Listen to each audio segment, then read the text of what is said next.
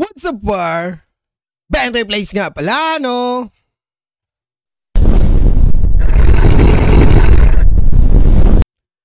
At ngayon pares, pag-usapan natin ito yung bagong update ni Merpor, Dragon Artifact. Pero bago yan, sa mga nagtatanong sa Cupon pala, ito dito yan par, dito, dito. Yan sa Cupon. Yung coupon, click mo lang to, plus sign, di ba? Plus sign, yan, system, tapos yan, enter coupon. Ta type mo lang Dragon Artifact. Dragon Artifact. Mala, big letter, big letter lahat. Dragon Artifact. Uh. Yan, tapos enter mo lang yung code, tapos yun, na, na, meron na ako daw. Kaya, yun. Tapos click mo lang dito sa system, yan, bibigyan ka ng herb. Herb lang naman to, pero goods na. At least meron, di ba? okay na yan. Tapos balik tayo down sa Dragon Artifact natin, no? Okay, balik tayo dito sa Dragon Artifact. Ngayon, pakinggan na natin si Madam Choi. Magpapaliwanag na siya tungkol Coming sa... to the Mirror Continent next.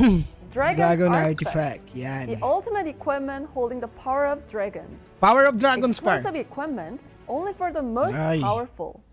Let's find out more about Dragon Artifacts. Okay, Hero TV. Hello everyone, this is. Young Choi, Community Manager for Mir4. Hello. I'm here with news about a new type of equipment coming with this update. The name Dragon Artifact means they are equipment that hold the power of dragons. They Okay. can be equipped at this Yan, meron tayong lima. separate from existing normal equipment. Lima ang bagong, ka, As they hold the bagong power equipment. of dragons, these are very difficult to get and very Oh, yun. powerful. Sinabi na nga. Very dif- difficult to get daw.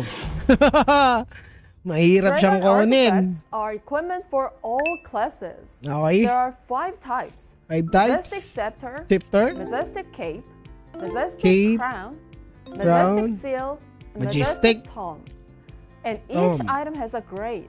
Each item has a grade. Rare. Epic, or Epic. legendary. Okay, ang tatlo lang walang uncommon ha. Tandaan nyo. Rare, epic, legendary lang. You can get dragon artifacts from rewards for Gagi, clan challenge 5 lang. participating in clan challenges or Oh, baka- baka meron sa iba, di lang natin nakikita. materials.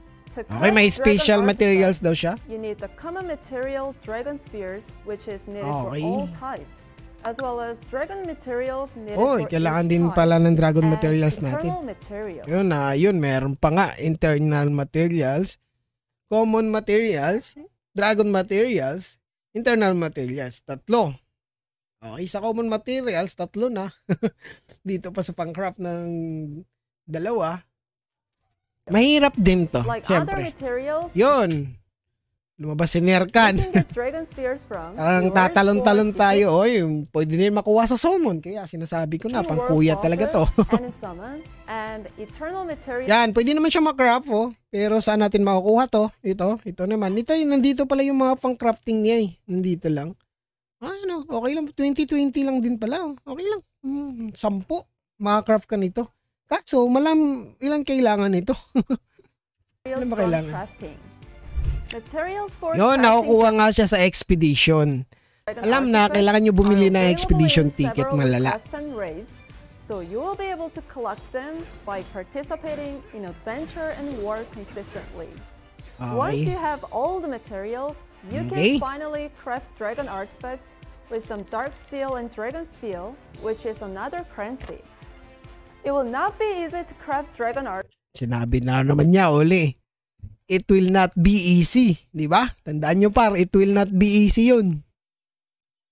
artifacts Patuloy mo. because the items will be hard to get and nga, special materials and currency are necessary. However, the resulting equipment will be so much more Necessary pa yung powerful. currency. So let's go on new adventures and challenge ourselves to get dragon artifacts.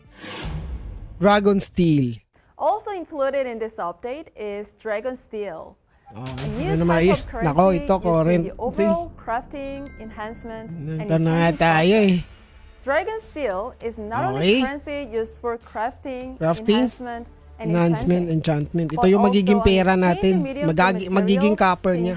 dragon artifacts. Dragon Artifact. You can get dragon steel by purchasing dragon steel boxes Pwede ka naman bumili, kaso nga 1.8 yung itlog nyo, Siptaria ba tawag dito? 1-8 isa. Isa lang makukuha mo. 1-8. Naku po. sold by Arcadia Spirit Village, NPC Sumachon with Sa Septeria, Machon. or from the space Dito 2M, mas malala. Ang hirap nga magka 100k nga ancient coin eh. 2M pa. Naku po. shop with ancient coins. Hirap nga, hirap nga siyang buuhin. Hirap din siyang kunin.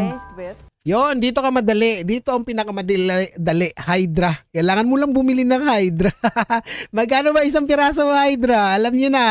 Oh. Mas mabilis. Hydra. Pangkuya.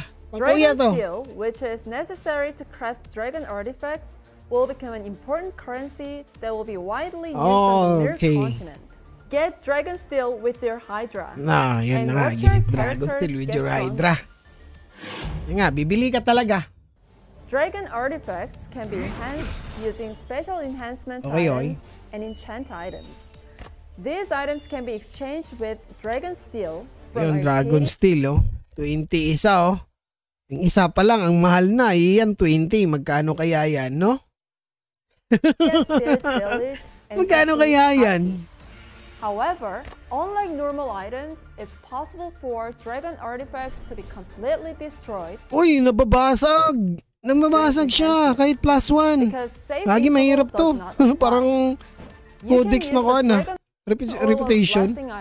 Ah, kailangan mong pagsabayin yung dalawa. Kailangan mo nitong bote, tapos ito, bago ka magka-crop. Ganon din sa rare. Pag epic, epic yung materials. Pag magpa-plus ka, kasi mababasag pag wala ito. For safety daw to. Okay. Kailangan mo na yung gagi. Ang hirap nga.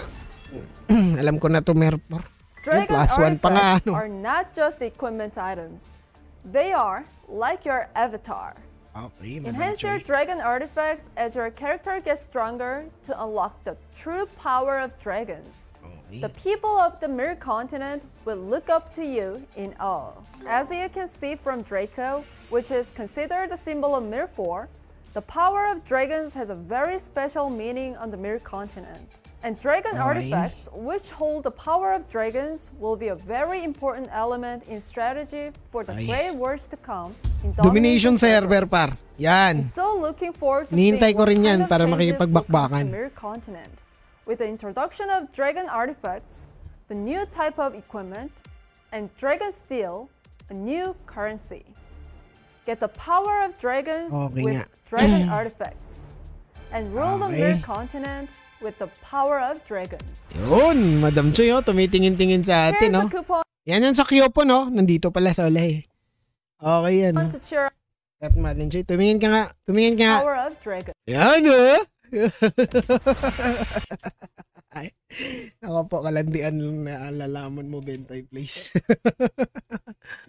okay, balik tayo doon sa Merpor natin, no?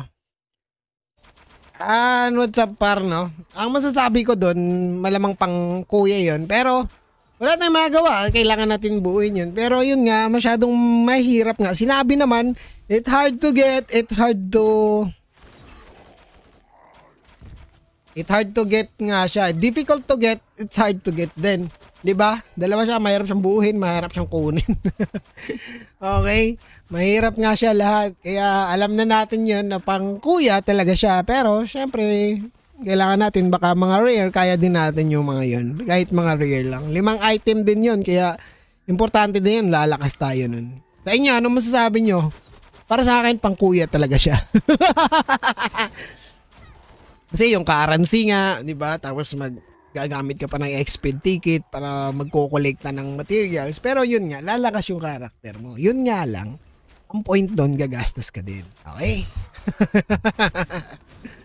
oh, ano mga sasabi nyo about doon par? Comment down below na lang. At ah, ako hanggang dito na lang kasi medyo masakit yung katawan ko. Isa lang kami na ginagamit ko.